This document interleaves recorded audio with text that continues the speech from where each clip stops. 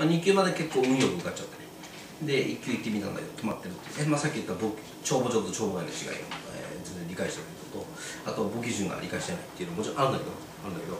でそれ以外の心の問題としてね心の問題としてあの1級でずっと受かんない人ね、えー心の問題としてあるのがねあの自分はもう2級受かっちゃってから2級はあの大丈夫だと思ってる人なんですよ。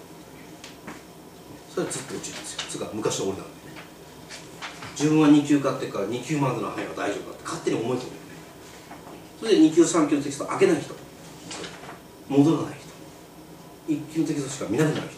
これがずっと1級で落ちる人なんですよ、ね、要するに悪い人がいる。2級カット3級カットったってそこの論点100点ですかとちゃいますもんね。人に説明できますかってできません。はい、だからねやっぱりこう、えー、3級やってる2級やってる1級やってるっていうよりもねまあ簿記をやってるんやと。感覚で。ね簿記を勉強するね。っていう感覚でやるとね非常に、えー実力がねアップしやすいと、ね、いうことになります